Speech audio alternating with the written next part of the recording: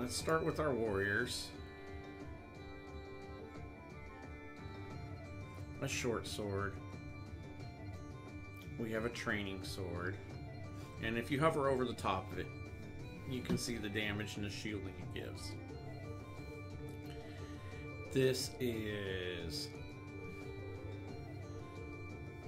a black sword, which looks pretty good. Sultana has a two-handed sword.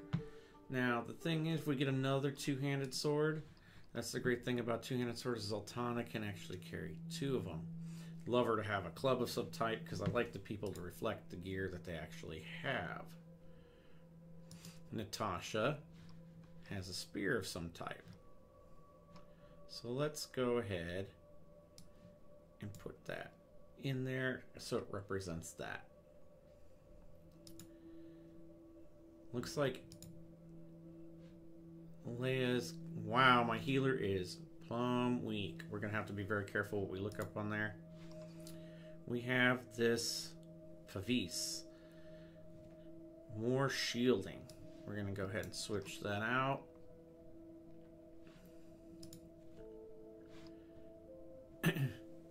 Dual wielding, so it looks like we've got a big stone axe.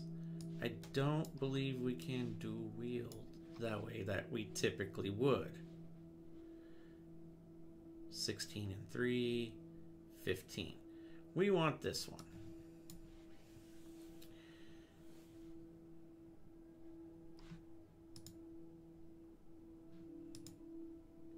Now, since she's not going to max manage, but he has a big axe picture, we're going to switch this out. Bam!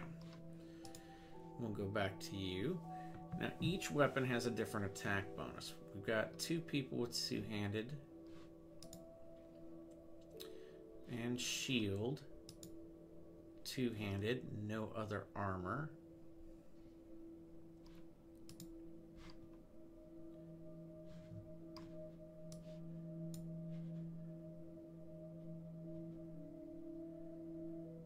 So the shield not equipped is bad quality, so we will not be using that a lot. Three and four. Alright, Zaltanna's there. He's got a two-handed weapon. No, I wanted to give him at least some armor since he's not going to be doing it. We will give you three and four. This shield. And the sword with poison damage. Training sword is a good sword for defenses.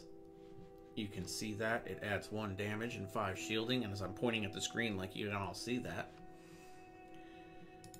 So let's see how much it weighs. 68. What else can we give? 132. As you can see the weight there. At least I have a sword so I can do something. One damage, five. That'll give me some bonus. Best way to go there. Who has the blunt mace?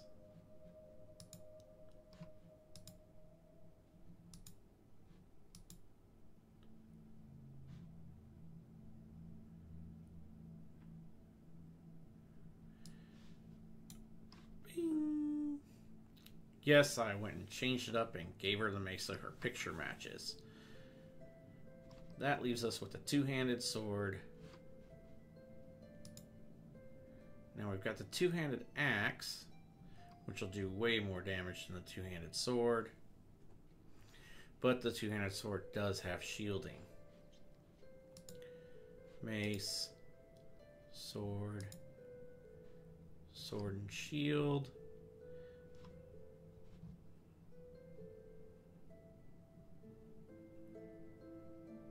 And if they're going to be exactly the same, we're going to take less weight. We could actually... Can we do this and keep the... No. We want you to have the shield.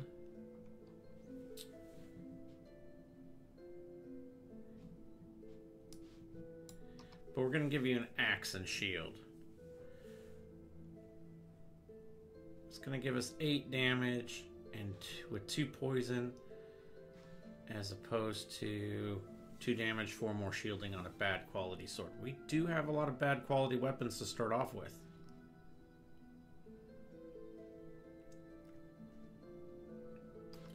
Alright, so we'll start with Leia. Got everything we can give Leia to, or Lay to start off with. Lay's our healer. We definitely want a healer along with us. And we gave him the training sword to start off with. I think that's the best bet. Because I don't believe he's going to be able to carry anything else. Casimir. Switched away because of the damage factor. We could go to... But 8 damage. We could add 4 more shielding and make him more durable if we gave him back the sword. But we, we might find a weapon along the way so we can give him something that'll be a little better. So now what we're going to do is go to our inventory. And everything we're not using, we're going to put back into town.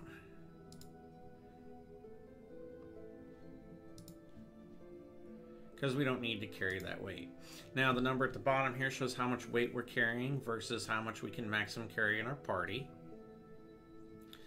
We're only going to be out to stay out for about six days with the amount of wood that we have in our expeditions. So hopefully we get some, we'll find something along the way really quick. now we're going to go to the equipment for the people in the city. Olana, big weight. We're going to give her the stone axe. 200 pounds. Give him the big two-handed sword. Radaghost. 250.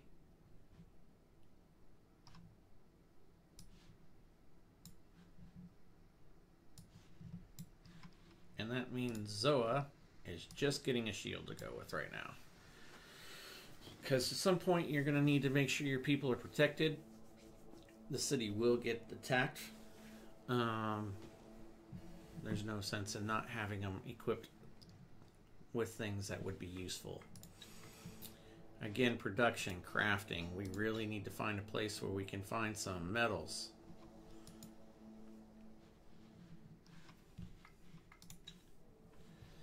Manage supplies. So we're going to close this out. Grab our expedition. So since we're going to go on his uh, tutorial, we're going to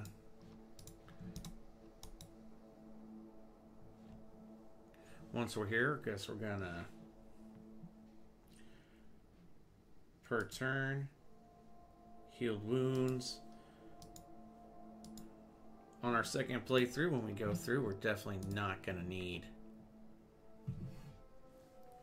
to do uh, well, this is good. We're close by some fruit. We'll see what, uh...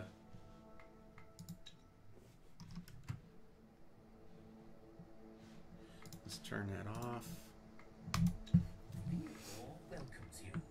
Well, hello there. I see you're finding your feet and making first steps into the world. Well done. So what now?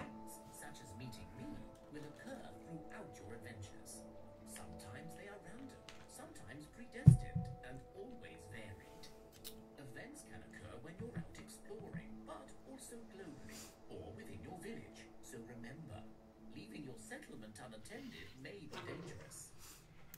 Right, events can occur at any time, both within the village and the world. Anything else? Events will ask you to bring stuff or do things in order to move to the next stage. I asked you before to gather food and fuel in your village, so you can gather resources in your village, but also by setting up a camp when you're out exploring. To set up camp, stand on an empty hex and choose the tent icon from the mini HUD. Right, we can gather by setting up camps in the world. Got it. Good. Now events can lead to conversations or just random disasters, but they can also lead to challenges. To show you what I mean, track down a pack of boars nearby, marked by a blue question mark, and bring me back their bones. Alright, point me in the direction of the boars. One XP, one research.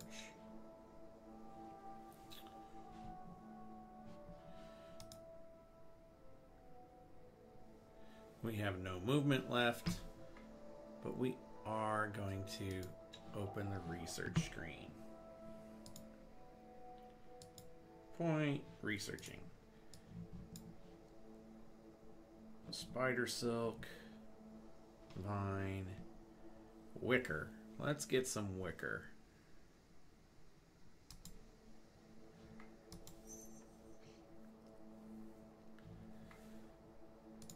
So of course, and now it'll show me where wicker is. Nowhere near us, which sounds about normal. And as we have no more movement, we need to end our turn.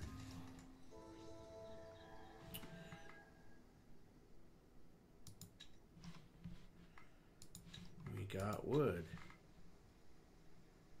He's going to make one more jerky.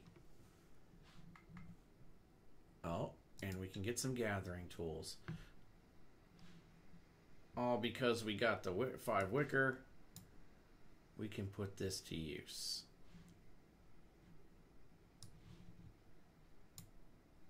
And of course, we can use the catalyst, doesn't matter. As we're gathering wood each turn, three extra gathering, confirm. Let's go ahead and put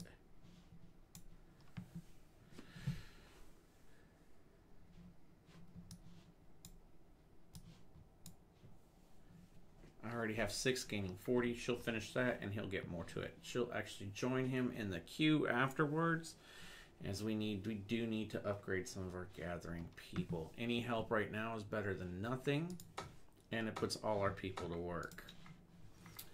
But right click to dismiss and of course it's going to tell me anything that's been spotted.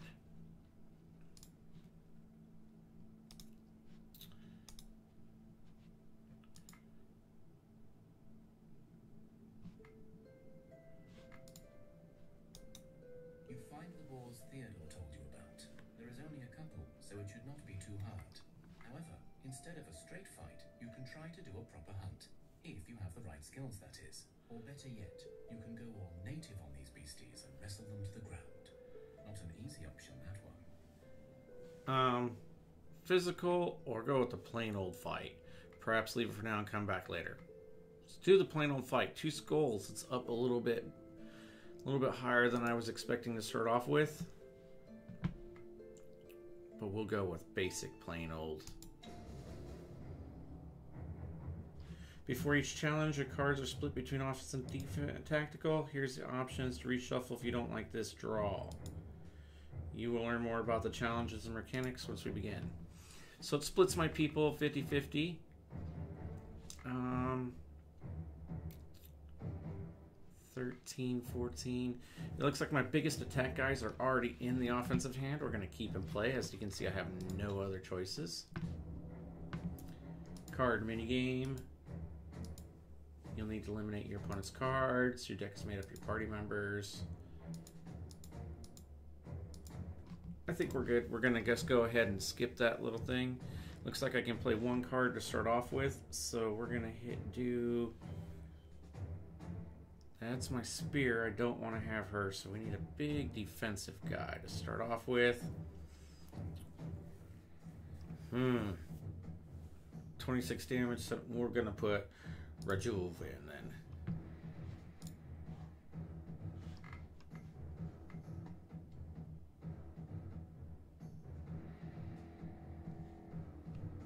Skip to the phase.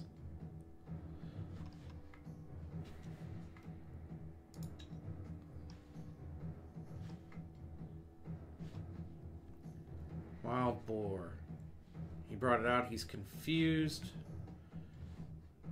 We're gonna put Casimir out because he's gonna do 26 and kill that. 21 plus 5 is 26. We can always just shield the ally, but we get one play. Let's put Casimir out.